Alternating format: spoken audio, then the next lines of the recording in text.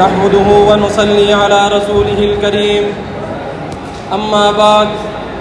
فأعوذ بالله من الشيطان الرجيم بسم الله الرحمن الرحيم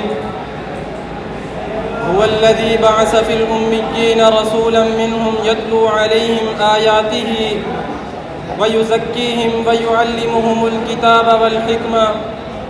وإن كانوا من قبل لفي ضلال مبين وقال النبي صلى الله عليه وسلم إنما بعثت معلما صدق الله العظيم وصدق رسوله النبي الكريم ونحن على ذلك لمن الشاهدين والشاكرين والحمد لله رب العالمين حضور آئے تو سر آفرینش پا گئی دنیا حضور آئے تو سر آفری نش پا گئی دنیا اندھیروں سے نکل کر روشنی میں آ گئی دنیا بجے چہروں سے زنگ اترا ستے چہروں پہ نور آیا حضور آئے تو انسانوں کو جینے کا شعور آیا میرے انتہائی واجب الاحترام میرے اساتذہ اکرام اور مسلک اہل سنت والجماعت احناب دیو سے تعلق رکھنے والے غیور سنی بھائیوں آج میں جس عنوان کو موضوع سخن بنا کر حاضر ہوا ہوں وہ ہے حضور صلی اللہ علیہ وسلم کی بحثیت معلم ویسے تو امام الانبیاء محسن کائنات صلی اللہ علیہ وسلم کی پرورش امی ماحول میں ہوئی ہے جو علمی اور تعلیمی فضا سے کافی دور ہے پارہ نمبر اٹھائیس سورت الجمعہ آیت نمبر دو اللہ تعالیٰ فرماتے ہیں والذی بعث فی المین رسولا منہم اللہ تعالیٰ نے عرب کے امی لوگوں میں سے ایک رسول بنا کر بھیجا یتلو علیہم آیاتی ہی جو اللہ تعالیٰ کی آیات تلاوت کرتا ہے وہ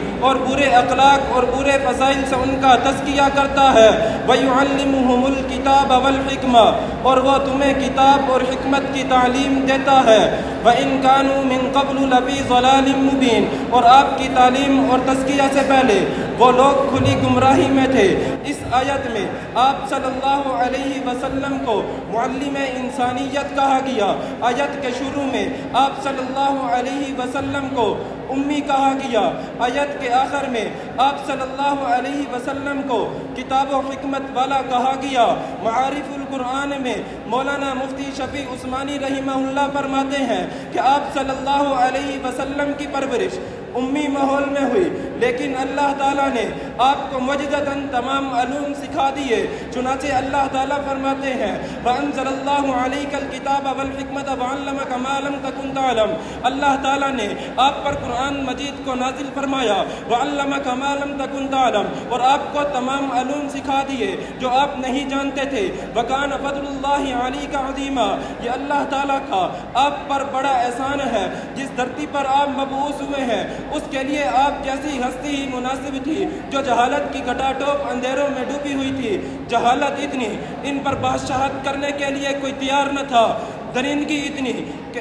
درندگی عورتوں کو جانوروں سے بدتر سمجھا جاتا بے رحمی اتنی اپنی معصوم بچیوں کو زندہ درکور کر دیتے بے وقوفی اتنی اپنے ہی ہاتھوں سے تراشے ہوئے بتوں کی پوجا کیا کرتے انہیں اپنا حاجت روا مشکل کشا سمجھتے تھے اگر ایسے ماحول میں کسی معلم اور کسی مسلح کی ضرورت تھی تو آپ صلی اللہ علیہ وسلم کی ذات ہی اس کے لیے موضوع اور مناسب تھی تو ان پتھر سے بھی سخت دلوں کو اپنے کلام اور باز کے ذریعے سے موم کرتے جس کی تاثیر سے ان کے دل ایسے پگھلے جیسے برف دھوپ میں پگھلتی ہے چنانچہ آپ علیہ السلام کو معلم انسانیت بنا کر مبعوث کیا گیا پھر آپ کو مشکات کی روایت پھر آپ نے مشکات کی روایت کے مطابق اعلان فرمایا انما بعثت معلم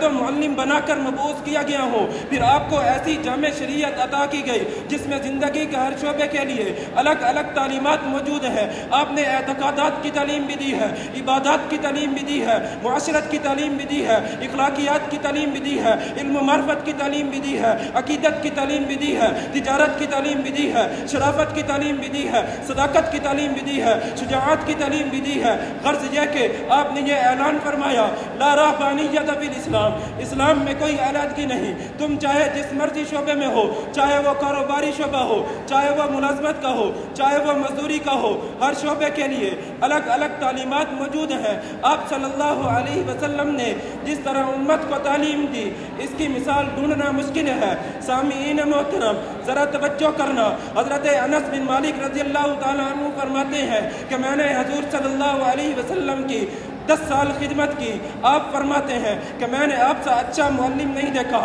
کیونکہ میں نے آپ کے سفر کو دیکھا میں نے آپ کے حضر کو دیکھا میں نے آپ کی خلبت کو دیکھا میں نے آپ کی جلبت کو دیکھا میں نے آپ کے اٹھنے بیٹھنے کو دیکھا میں نے آپ کے چلنے پھرنے کو دیکھا میں نے آپ کے کھانے پینے کو دیکھا میں نے آپ سے اچھا معلم نہیں پایا دنیا میں جتنے معلم آئے جو کامل طور پر کامیاب نہیں ہوئے جب کوئی معلم دنیا سے جاتا ہے لوگ تعریفیں کرتے ہیں فلاں کام کیا فلاں کام کیا بالآخر کہتے ہیں حضرت کی زندگی اگر وفا کرتی فلاں کام مکمل کر لیتے میں قربان جاؤں اپنے آقا پر جس نے اپنی آخری عمر میں حجت الوداع کے موقع پر صحابہ اکرام رضی اللہ تعالیٰ عنہ سے فرمایا کہ میں نے آپ کو اللہ کا دین پہنچا دیا صحابہ نے عرض کیا پہنچایا نہیں بلکہ پہنچانے کا حق ادا کر دیا آپ کے بارے میں کوئی بچر یہ نہیں کہہ سکتا کوئی بات رہ گئی یا کوئی بات ہم تک نہیں پہنچی بلکہ آپ کی صحبت میں جو بھی آیا کامل بنا باقاعدہ کمال بنا کامیاب ہوا آپ کی صحبت میں حضرت عبداللہ بن نبی ابی آئے ابو بکر بن گئے حضرت عمر آئے